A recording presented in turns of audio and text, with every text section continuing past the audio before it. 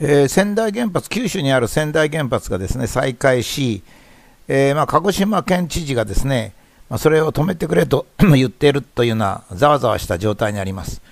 えーと、あと20年ぐらい原発を動かしたいというのが、まあ、原発推進派なんですが、まあ、私はですねあの人の意見は人の意見で、えー、まあ、それなりに納得するったら変なんですけども、まあ、それそういう考えもあるなと、そういうふうに思う人なんですけども、私はもちろん原発の再開反対ですし、非常に危険だというふうに思ってるんですね。で、私、まあ、原発支持の方ですね、再開支持の人っていうのが、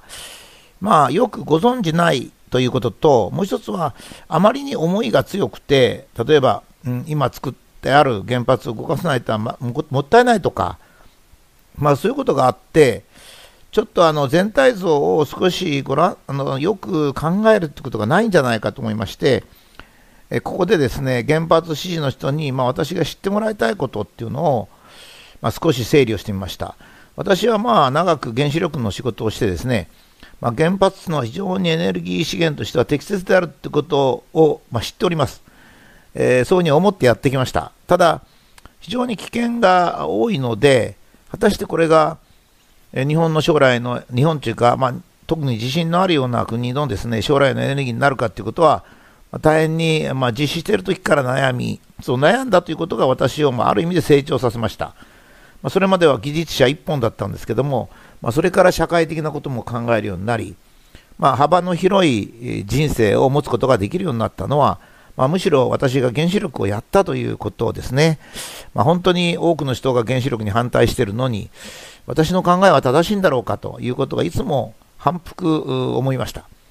それで、まあ、私が45歳ぐらいの時に原子力をやめたのもですね、えー、他に原子力をずっと続ける道もあったんですけど、やめたのもですね、実はその危険性が高いというふうにま思ったからですね。で、その後しかし、私は原子力に未練があって、なんとか原子力発電を安全にできないかということで、まいろいろ国の仕事なんかにも携わりました。私はもう福島の事故でですね、もう全然状態が変わったと思ってるんですよ。やっぱりこれはですね、いろんな人がいろんな悩みを持ってると思いますが、まあ、技術っていうのはあのくらい大きな事故がありますとね、やっぱり基本的に考え直さないといかんと思うんですね。まあ、それの一番大きいのが、えー、亡くなった吉田所長が2号機の爆発を前にして言ったのが、もしも2号機が爆発したら東日本に住めなくなると。まあ、こういうふうに仲間の人たちに漏らしたことですね。まあ、自分たちももう死ぬんではないかという思う、そういうあの非常時にですね、言った言葉っていうのはやっぱり重たいものがあると私は思うんですね。私最初東日本に住めなくなるというその元吉田所長の言葉を聞いたときに、まあ、それほどすぐ納得したわけじゃないんですね。だけどもよくよく考えてみますとね、え原発っていうのは大体広島原爆の、まあ、見方にもよるんですけど、2万倍とか10万倍ぐらいの放射性物質を、まあ、抱えてるわけですね。ま、これは図体が大きいですから、広島の原爆がどんなに大きいつったって、ウランの量から言えばですね、ウラン235で、まあ、50キロとか爆発した量30キロとかそういったもんですけども、まあ、原子力発電所はものすごいトンオーダーであるわけですからね。で、彼が吉田所長が言,、まあ、言ってる言葉をずっと見てみますとですね、結局1号機、3号機と爆発したわけですね。1号機はまあ水素爆発であることは間違いないと思うんですが、3号機はまあ水素爆発か、えー、まあ、核爆発が一部入ってたんじゃないかっていう人もいますが、いずれにしても空気が爆発して、炉が爆発したわけじゃないわけですね。空気が爆発して炉の中に入っているものが飛び散らないということになりますと、まあ、空気の中に飛散しているものだけですから、まあ、プラスアルファぐらいですから、まあ、それでも広島原爆の200倍、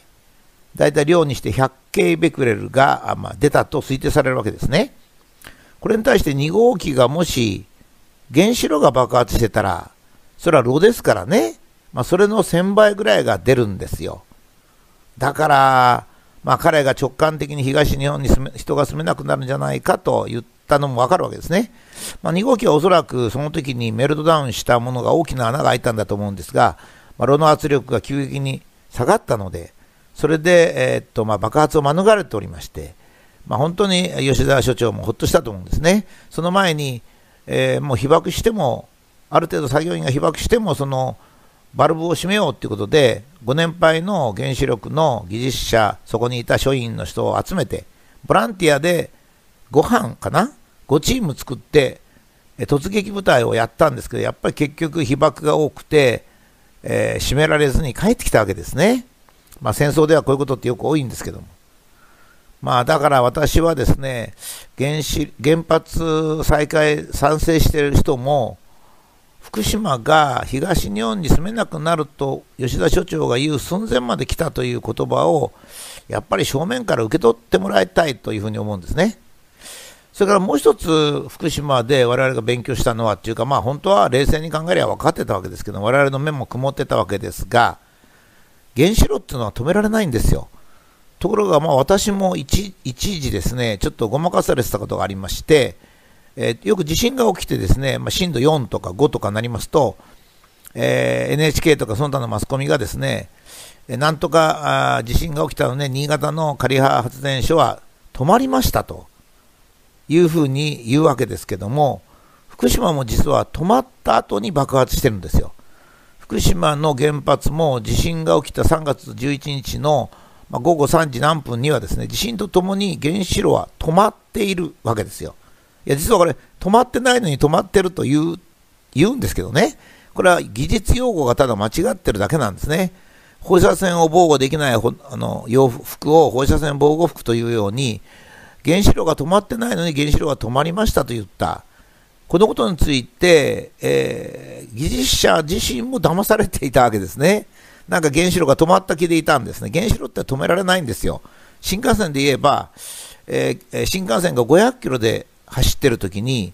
止まったっていうのは250キロに減速できたということなんですね。つまり原子力っていうのは現在起こっている核反応は酵素の棒を入れることで止まるんですけどもそれが止まってもですねいわゆる核分裂反応っていうのは各元素の中で行われていてこれはまあ100年も続くわけですねですから止まらないんですよ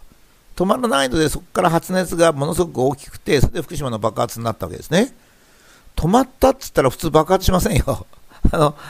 止まったっつのはある意味じゃ人に安心感を与える言葉ですね。ああ、原子炉が止まったか。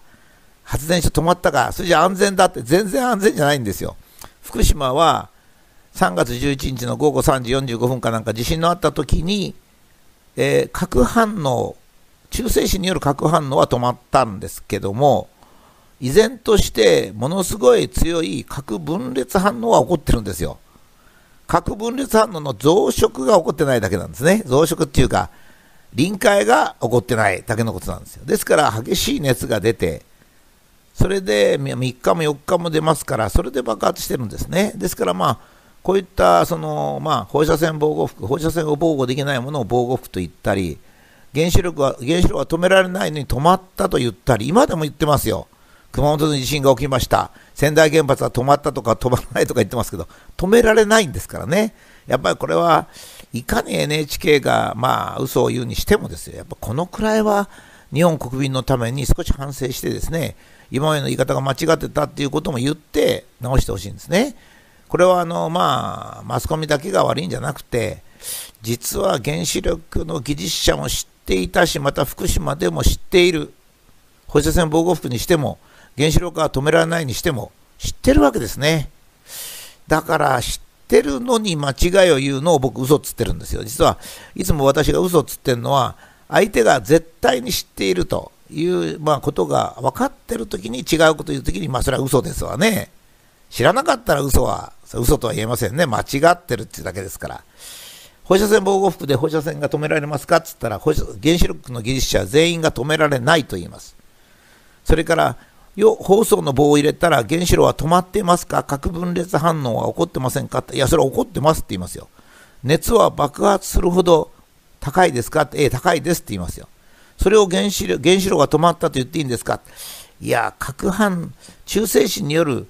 臨界は止まったと言うべきでしょうねって言うと思うんですね。ただ臨界が止まったってのめんどくさいから原子炉が止まったと言ってるんですって言いますかね。まあ私は技術者なんで、まあ、あの福島の時にも技術者に繰り返しあの求めたんですけど、やっぱり技術者はどんなに苦しい時でも本当のことを言おうと、まいうふうに呼びかけたんですが、今でもそれは言いたいと思いますね。東電がメルトスルーを隠してたんじゃなくて、技術者が隠してたわけですから、それもやっぱり、技術者としてはやっぱり不十分ではないかと、まあ、そういうふうに思いますね。えー、原発支持の人に知ってもらいたいことの2番は、今までも再三言ったんですが、現在、原発を再開すると言ってる人はですね、また技術者なんか特にそうなんですが、少しやっぱり勘違いをされてる人が多いんですね。この前もある小型原子炉をやりたいっていう技術者がおられまして、その人が福島でも放射線の被害少ないじゃないか。放射線の被害があるなんて、放射線がんになるなんて嘘なんだと、今いうようなことを言われてるのを聞いて、ちょっとがっかりしたんですね。というのはですね、被爆と健康障害という問題はですね、全然そういうことと違うんですよ。あの、もともとその、被爆によって、放射線の被爆によってこういう障害が出るというものが確定してるもんじゃないんですよ。にあの現在の科学では分からないことがあるんですよね。その現在の科学で分からないことをあたかも分かったように言うのはやっぱり科学者じゃないんですね。現在はこういうことが分かってるんですよ。低い濃度の低い線量の被爆が健康にいいのか悪いのか、いいっていう説もあるんですよ。悪いっていう説もあるわけですね。放射線で被爆したら健康になる。弱い放射線ですよ。例えば1年1ミリシーベルトとか。健康になるっていう説と白血病が増えるとか甲状腺がんが増えるっていう説と学説が2つあるんですよ。学説が2つあるんです。僕があのよくあの武田先生は1年1ミリシビルトで障害が出ると思ってるのかいや思っているわけじゃないんです2つの学説がありますから。私科学者ですから。ところが例えば 2, 2, 2シーベルトぐらいも受ければほとんど50%ぐらいの人が死ぬんですよ。それも確かなんですね。だから高い放射線が危ないというのはこれみんな知ってるんですよ。2ミリシーベルトなら死ぬと。じゃあずっと下げていって100ミリシーベルト、50ミリシーベルトってどこまでが安全かっていうと、わからないんですよ。僕も当初から言ってるんですけど、何回言っても武田はああの危険だと言ってるのかって、もうまるであの、なんて言うんですかね、ナチスみたいなんですよね。もういくら言っても同じなんですよ。私が言ってるのはそういうことなんですよ。高い放射線は命の危険があるということはもういくらでも証拠がある。まあ、久保山さんも第2号福竜丸に乗ってて頭がはげてお亡くなりになった。もちろんアメリカではそういう事故はいくらでもあってみんなお亡くなりになる。え、日本でも東海村の被爆事件で3人がお亡くなりになった。だから高い濃度で放射線を浴びたらやられちゃうんですよ。どのくらい低かったらいいかっていうのがわからないっていうだけなんですよ。そこでわからないけども原子炉をやるんですよ。普通そういうことないんですよね。分からなかったらやらないっていうのが本当なんですけど、あの原子力の場合はあんまりにも原子力が魅力的なので、まあ放射線の被爆がと障害の関係は分かんないけど、まあ、やっちゃえということでやったんですよ。だけどその法治国家ですからね、無理やりやることもできないので、法律とか規則で約束を作ったんですよ。それが1年1ミリシーベルトなんです。ところが、1年1ミリシーベルトなんて法律とか規則ないよっていう人がいてね、この前、その、なんでないっていうのここに書いてあるじゃないっつったら、それは放射線障害防止規則とか、事故で被爆するという状態を想定してないんですよね。事故の被爆量がなかったんですよ。だけど、事故で被爆症が、えー、事故じゃなくて被爆症が、私は同じだと思いますよ。人間と被爆の関係だから。その被爆した原因が事故だったらば、障害が多いとか少ないとかいうことはないですからね。ですから、あの放射線障害防止規則で、えー、放射線は1年1ミリまでと決まっていればですね、それは事故であろうとなんだろうと、人体と被爆量の関係ですから、なんで事故の時の法律がないからっつってそれ関係ないんですかね。まあ、そういうふうに思うんですけど、私はそう思うんですね。それからあの捨てる捨てるものもそうなんですよ。実はあのこれは事故の起こる1年前の2010年に、まあ、いろんな人が集まっていろいろ決めてですね、えー、大体原子炉を崩して捨てる時の瓦礫はですね、このくらいだっていうのを決めたんですよ。ところが事故が起こって捨てられなくなると、環境省は8000ベクレルとかなんか非常に高い 1kg あたり8000ベクレル、非常に高いのを決めたんですね。僕のあの記憶では、えー、1キロ100ベクレルまでと制限があったと思うんですが、その80倍まで上げちゃったんですよ。こういったですね、何かが起こったら事後法を作るっていうのは、非常に悪辣ですよね。私はそう思います。誠意のない方法ですね。だって、まあ、東京裁判、私が東京リンチっつってる東京裁判だってそうですけども、アメリカ軍が勝ったらアメリカ軍が勝手に平和を犯す方、あの、犯す罪とかなんか作って、そして裁くと。これはまあ、戦争に負けちゃったから、まあ、軍人はみんなそれを知って死んでいったでしょうけど、しょうがない、負けたんだからもう殺されるのもしょうがないとかですね、山下、シンガポールを取った山下法文大将みたいに、俺も早く戦友のとこに行きたかった。だから、まあ、公主刑、普通は軍人は銃殺なんですけども、えー、公主刑もしょうがないっつって、あのように行きましたけどね。だけど、そういう事後法っていうのが非常に汚いということは、やっぱり私はそう思うんですね。それから、だから被爆について、まあ、あの時民主党、まあ、今の民進党でしたから、まあ、あのポンコツ政党だからしょうがないって言えばしょうがないんですが、私が共産主義で、まあ、スターリンが何百万人もシベリアに送って殺したというような国だからと思っていましたらね、ソ連は翌日の朝の10時にバス1100台を、えー、現地に向かわせて、えー、女性とか子供を中心にどんどんどんどん避難させましたけども、え民主党政権は何つったかったら官房長官が 直ちに健康に影響がないと言って、バス1台も出さなかった。わけですね。で、これは、その1年1ミリシベルとかどうのこうのという問題じゃなくて、国というのは国民を守る義務があるのかってもちろんありますよ。もちろんあります。今日北朝鮮からミサイルが EEZ、日本の排他的海域に3発かなんか落ちましたよね。空襲警報が鳴らないんですよ。で僕は自衛隊の人にすぐね、空襲警報がこういう時にならなかったら、何のために自衛隊がいるの？っつったんですよ。だって、それでね、変なこと言ってましたよ、誰かが。あ、NHK がまずこんなこと言ってたんですよ。現もうミサイルが打ち打ち上がって落ちてから後ですよ。えー、現在、えー、自衛隊が、えー、事実を確認してますって放送したんですよ。落ちてから。それから海上保安庁かなんかがですね、日本人の犠牲がなかったようだって発表したんですよ。あれ？と思いましたね。え、守る人っていないの？って。